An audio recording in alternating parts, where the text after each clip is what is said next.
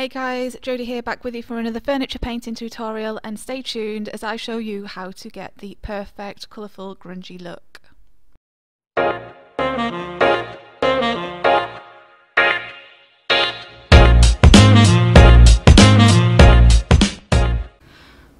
Alright, so I'm going to get started on this pine bureau behind me. Um, I'm not a massive, massive fan of, of, uh, of pine furniture, if I'm being totally honest. Um, so I'm going to paint it. It's in really good condition, to be fair, but I still want a really textured look with it. So I don't have any clear cups today, so I'm just going to use this little bowl and I'm going to use sea spray because you guys know how much I love sea spray and I also have some Pure Ocean because you know how much I love my blues as well. So I'm just going to have a little play. I don't really know where I want to go with this. All I know is that I'm in the mood for some colour and I don't really want to follow any set plan. I just want to have a little bit of a play. So let's just see what happens with this. Okay, so I'm going to take one scoop of sea spray and pop it in my little plant pot like that. And you roughly want to mix four ounces of paint to one scoop of sea spray, but that is not a hard and fast rule. You can just kind of do it however you want. And I think I might want this quite textured today. So what I might do is, this is what I'm thinking, is I'm going to come in and just do my sea spray as usual, not have it overly textured, but then I may apply some extra sea spray in some areas afterwards. Okay, and now I have my Pure Ocean, and I'm not going to measure, I'm just kind of just going to pour that in there if you're a baker or a cook or something, I personally am not. but if you are, it's kind of similar in that you kind of just start to get used to what the consistency should be like of the batter and things like that. And it's kind of the same with this. You just kind of get to know what consistency that you like. And this is the consistency I'm going for today. So it's a little bit, as you can see, there we go. And I'm using a Le Petit brush and I'm going to stipple it on with this and the reason why I'm using a Le Petit brush today and not the Best Dang brush or the um, chip brushes that I normally use because this has a different kind of edge to it it's a little bit pointed and but also a little bit round it's going to uh, create some different brush strokes and texture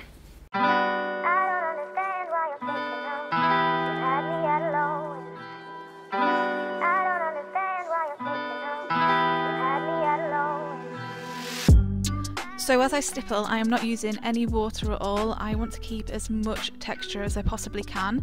And I just want there to be really, really good coverage. So I don't really want much of the wood showing through once I'm done with this base layer. And also what I decided in the end was that I allowed different pockets of texture. So sometimes I went in a little bit more heavy handed with the sea spray and other times I went in a little bit thinner just to get some very grungy texture. And as always guys, all of the products I use today are listed down below and you can also grab your products through the links below and that just helps out my channel a little bit and I always appreciate it.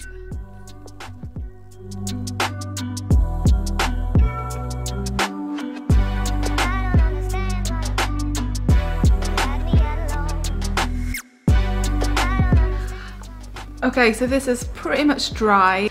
So I'm just going to go in now with some white wax. This is Best Dang Wax in White. And because this is water-based, it means that I can put water-based paint over the top of it. Okay, I get why some of you might be wondering why I'm putting white wax on now um, if I'm not wanting to seal it, but what this will do is when I go over the top with watery paint layers is that it will just soften the paint a little bit that I put over the top and also separate it a little bit as well. So um, again, it just means that I can create layers and layers and create different textures and things um, and it's just going to alter the end look. I'm applying the wax on quite thick with a chip brush so that it gets in all the texture and then I'm wiping off any excess before I go in with any paint.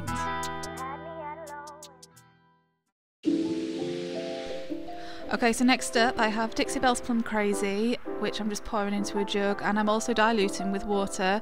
It's probably my usual mixture, I don't really measure, but it would have been around a 50-50 solution of paint to water, and then I'm just giving it a good stir, and as you can see, it is quite drippy.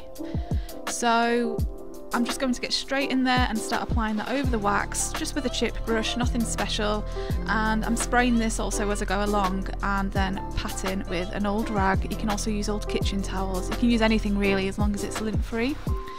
And yeah, so I'm just applying it all over and then tapping and spraying. And that is just because I want to build up the Plum Crazy randomly in some areas and I want to set it to settle in, you know, in some of the texture and I want it to be thicker in some areas. And it's going to look like a crazy up mess, but I promise it will all come together in the end.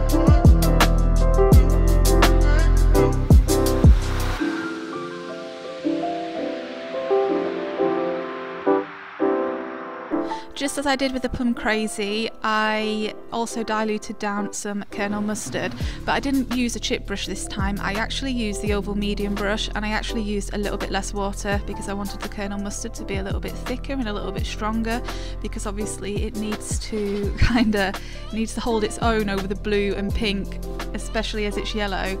Um, and the reason why I'm using the oval medium brush is because it just means that I can apply more on and I'm using, using different brush strokes in different directions. Um, and also I am not brushing so that there's full coverage so as you can see I'm also leaving little pockets that aren't covered in the yellow at all.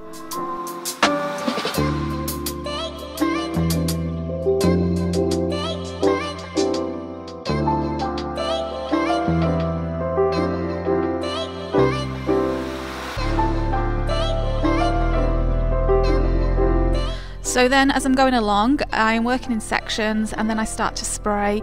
Um, and this is called wet distressing, where you spray paint and then, you know, the paint starts to remove. It is, it's a way of distressing. So I'm allowing some of the coats of paint underneath to shine through. Um, I'm also brushing some of the watered down paint because this is not going to be a smooth or an even look by any means. If you want to get a grungy look then you need different pockets of texture, you need different pockets of colour and um, just for it to look authentic. So don't be scared just to have a really good play.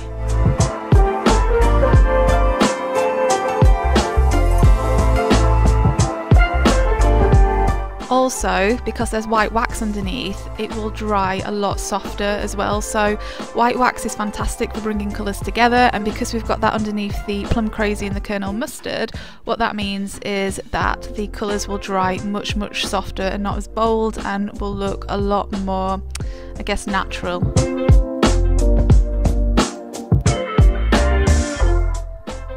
Also, when painting a grungy look like this, you've got to be comfortable with being uncomfortable for a while and you just have to trust the process and trust that it's all going to come together in the end because it will, will definitely look like a crazy hot mess for a while and you've just got to trust in yourself that you will get there.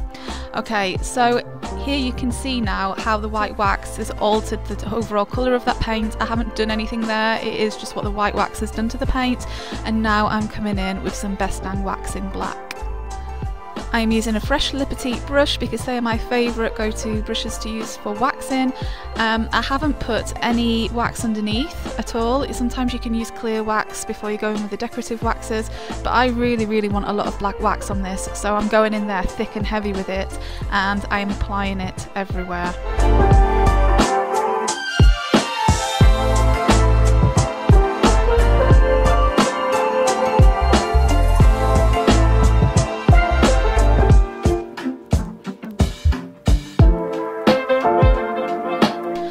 Because the wax is water based, what this then means is that I can get my rag, I can dampen it, you know, and wet it a little bit, and then I can remove the wax that way. Um, so you don't necessarily have to go in with a clear wax first to erase the wax because that is also one thing you can do. You can go in there with a clear wax, add your decorative wax and then um, use clear wax to remove it but because the Best Dang wax range are water based you can actually use water to remove and soften it as well. I recommend leaving the wax to dry for 15 minutes or sometimes even overnight can be good and that way you give the furniture the chance to soak in all the wax um, and then remove any excess afterwards. So the wax will harden, even the dark waxes they will harden and protect the piece, they will protect the paint finish. However if there's any excess sitting on top there's only so much that the furniture can soak in so you want to make sure that excess is then removed after the furniture is soaked as much as it possibly can.